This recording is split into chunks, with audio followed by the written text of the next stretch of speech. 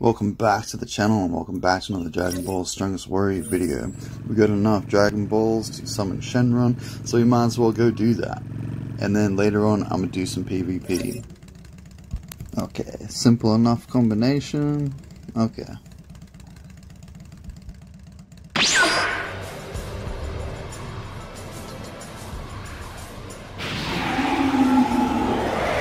I am the Dragon Shenron. I shall grant you any wish. Now speak. Okay, so if you watch the series, you obviously know what we wish for. Uh, looks like we have three more turns to go until we get the final title for that. And now it's time for PvP that I have a good enough power level.